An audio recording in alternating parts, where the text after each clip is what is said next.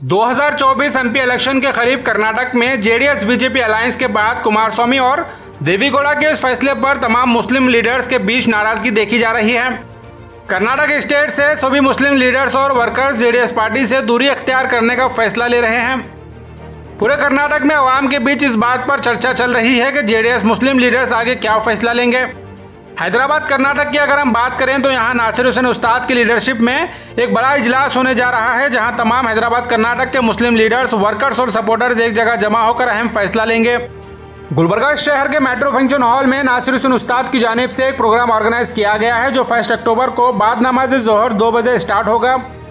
इस मौके पर गुलबर्गा जेडीएस लीडर अफजर महमूद ने प्रोग्राम की तमाम डिटेल बताते हुए तमाम सेक्युलर जहन रखने वाले जेडीएस लीडर्स वर्कर्स और सपोर्टर्स को first October metro function hall में जमा होने की गुजारिश की है This video presented by Manur Multi-Speciality Hospital highly qualified and well-experienced doctors team for emergency and trauma care 24 into 7 at Bali Hill Circle Ring Road, Gulbarga. अस्सलाम वालेकुम वरहमतुल्लाहि वबरकातुहू जैसा मैं आपके सामने पंद्रह दिन पहले हाजिर हुआ था इस ऐलान के साथ कि कमोबेश पंद्रह दिन के बाद हमारी एक अहम तरीन मीटिंग, एक इजलास तलब किया जाएगा, जिसकी क़्यादत नासिर हसन उस्ताद साहब करेंगे और वो पूरे हैदराबाद, कर्नाटक के इलाके के जनता दल सेकुलर के नाराज़ लोगों के, लोगों को मिलाकर ये मीटिंग ली जाएगी, लोगों को बुलाकर मीटिंग ली जाएगी। मकसद ये है कि पंद्रह दिन पहले ही हमारे सामने ये इंकशाफ हुआ था कि जनता दल सेकुलर और बीजेपी का अलायंस होने जा रहा है और बातचीत चल रही है इनिशियल फेजेस में है। अभी दो तीन रोज़ कबल कुमार स्वामी का मुकम्मल तौर पर ये वाजे कर देना कि वो एनडीए में शामिल हो रहे हैं और उनको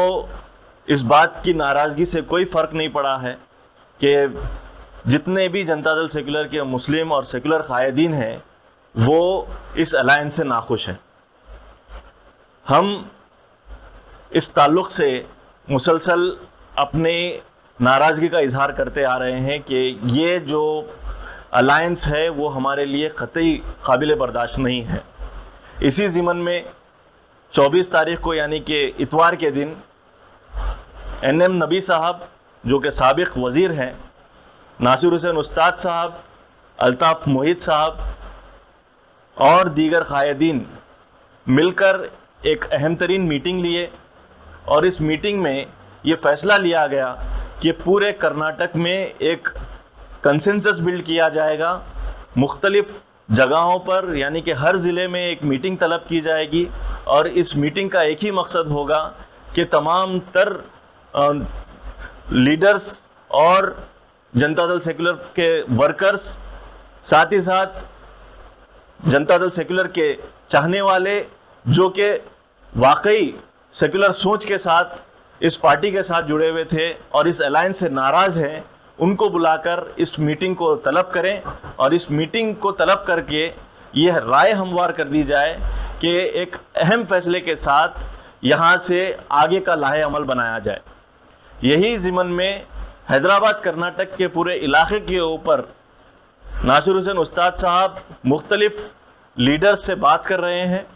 और तमाम तर जो लीडर्स हैं और तमाम तर वर्कर्स हैं उनको मधु करके ये मीटिंग मेट्रो फ़ंक्शन हॉल में बुलाई जा रही है और इस मीटिंग में आगे के लाए अमल के ताल्लुक से बात की जाएगी और तमाम तर लोगों को र, उनकी राय को हमवार करके आगे का लाए अमल तय किया जाएगा। मेट्रो फ़ंक्शन हॉल में तमाम तर जनता दल सेकुलर के नाराज़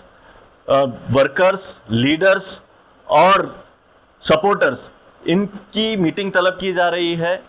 इनशाला ये मीटिंग बाद नमाज़ जहर दो बजे उसका आगाज़ होगा और वहीं पर लाहे अमल तय किया जाएगा और इनशाला नासिर हुसैन उस्ताद साहब एक अहम तरीन फैसले के साथ आपके सामने रूनुमा होंगे। मैं आप तमाम तर जो नासिर हुसैन उस्ताद साहब के चाहने वाले हैं, उनके, उन, उनके लिए काम कर चुके हैं, उनकी सोच और फ़िक्र के साथ हमेशा डट कर खड़े रहे हैं। मैं उन तमाम तर सपोर्टर से, उन वर्कर से, उनके वेलविशर से ये गुजारिश करता हूँ कि इस अहम तरीन इजलास में पूरे के पूरे हैदराबाद, कर्नाटक के इलाके से आप लोग शरीक हों और इस इजलास को ज़्यादा से ज़्यादा कामयाब करें। यही मेरी आपसे गुजारिश है। याद रखिए, ये इजलास एक तारीख को बरोज़ इतवार मेट्रो फ़ंक्शन हॉल में मुनद किया जा रहा है इनशाला बाद नमाज़ जहर दो बजे इस इजलास का इनका होगा बहुत बहुत शुक्रिया अस्सलाम This video presented by Manur Multi-Speciality Hospital highly qualified and well experienced doctors team for emergency and trauma care 24 into 7 at Bari Hill Circle Ring Road Gulbarga.